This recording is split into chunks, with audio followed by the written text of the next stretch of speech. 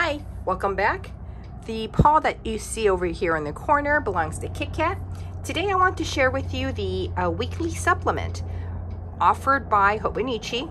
This is my first one. I used it in 2020 and then this is 2023 and I use this mainly for Bruce in his, um, this is Bruce's journal. Bruce is our English Bulldog and uh, he has a heart condition so I need to keep track appointments, his visits, anything that happens during the year so that when we visit his normal vet or his cardiologist, I can tell them if they ask me a question, you know, when he had his shots, if he had any issues with his ears, his eyes, if he's acting differently.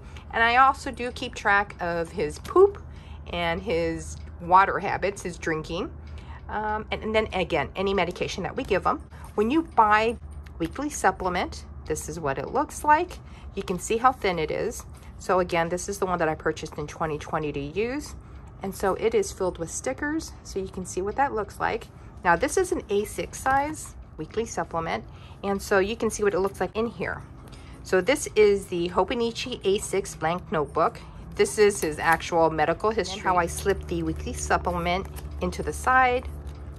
And for him, it's also not very All thick. I do is write in it keep track of his poop, his water, his uh, flea heart medication. Probably help to show you what a blank. So this is what it would look like. If you buy just the A6 Hobonichi Techo, this would be helpful to have if you wanted to slip it in so you can, there's Bruce. You wanted a weekly layout. So now let me show you this. Uh, so over here, I kept track of my packages. Uh, up here on top, I was keeping track of my important task for the day.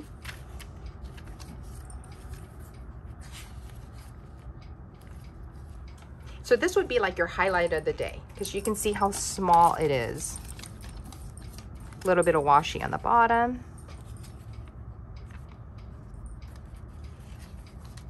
And then up here on top, because I can't read Japanese, I mark down the days, right? So Monday through Sunday. Packages I put on the side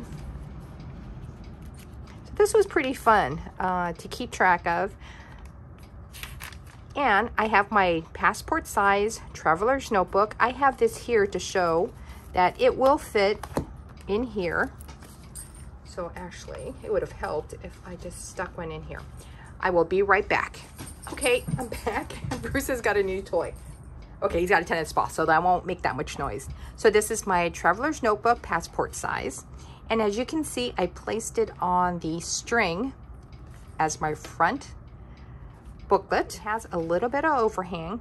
So I think depending on your placement in your passport, it's gonna determine how much more it's gonna stick out. So you can see what it looks like. So I'm pretty sure that if I stuck it in the middle of the passport, that it would not stick out as much but it's just got a little bit of overhang. So if you're not bothered by it,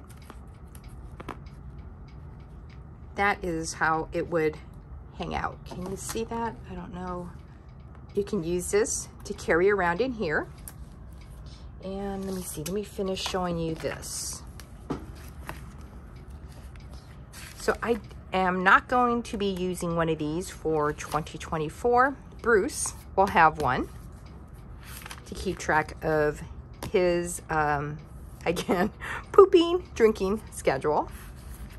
But this was fun to use. And this is the chunk size that you would see. That's KitKat. This is the chunk that you would get. And again, the blank one is in here. So again, you can you will see the comparison between what you would buy and how thin it is and if you decide to use stickers. Obviously, if you use more stickers, um, it's gonna be thicker. But I think this is very helpful to use if you just wanted to, um, wanted a weekly layout with your A6 Techo, uh, that you could do it and that there is room. That is a very quick look of the uh, Hobonichi weekly supplement from 2020 in Bruce's A6 Techo as well as knowing that it will fit in a traveler's notebook passport size. If you liked the video, give it a thumbs up. If you didn't, give it a thumbs down. Subscribe if you'd like to see after the pin videos. And I will hopefully have a Hobonichi haul later in the month. Okay, I'll see you guys later. Have a good weekend. Bye.